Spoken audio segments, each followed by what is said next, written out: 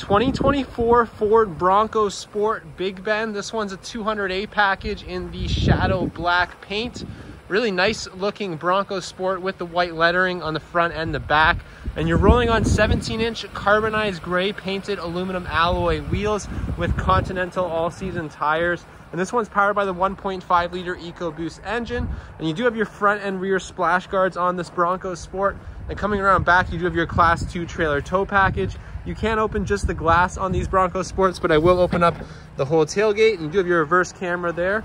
And taking a look in the back here, you got plenty of storage back here, and there is a full-size spare tire underneath here, which is a really nice thing to have. Uh, you do have 12 volt power back here, and these rear seats do fold down for even more storage, so be sure to check out the first link in the description for that. These are your Bronco Sport branded uh, floor liners for the first and second row. And coming around to the interior of this Bronco Sport, you get really nice interior here, really comfortable seats front and back. You do have cup holders that fold down from the center here. And then the rear passengers do have their own climate vents and their own USB ports here. And coming around to the front of the vehicle, you do have power windows and locks, of course, power glass adjustable mirrors and automatic headlights and really comfortable front seats in this Bronco Sport. You do get a uh, power driver seat with lumbar, which is nice. Stepping into the vehicle, uh, you have a really beautiful steering wheel on here. I love the branding on the Bronco Sport steering wheel here. Uh, customizable 4-inch digital display.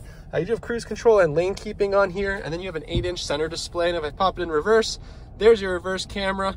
Uh, you do also have Apple CarPlay and Android Auto compatibility. Your heated seat controls are here and your climate controls. A couple USB ports and another 12 volt. Remote start in the key fob, your dial style shifter, different GOAT modes. So you do have slippery, sport, eco, and normal drive modes as well as a sand mode. And then you have some storage here inside the center console. I really like the materials used throughout this Bronco Sport and some more storage over here. So really nicely equipped Bronco Sport all the way around.